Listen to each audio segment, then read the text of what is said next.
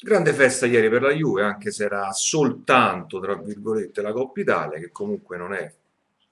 uno dei premi più ambiti no, dalle squadre, comunque è sempre una competizione importante, non è la Champions League, non è lo scudetto, però dopo queste, dopo queste diciamo, uh, competizioni viene la Coppa Italia. Ha fatto stare ieri un gol strepitoso, strepitoso, di chi? Del solito del Piero, di quei tiri che solo lui, no, del Pinturicchio, che arriva quasi a disegnare quei tiri, eh, sotto al 7 da, da fuori aria, con un tiro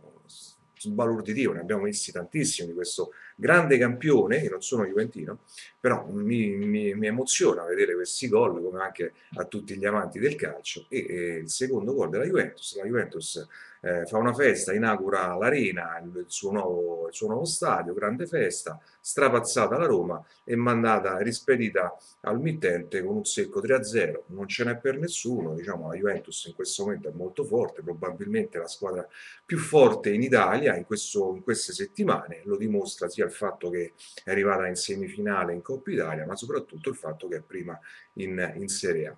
E, ehm, c'è da dire che Borriello appunto era stato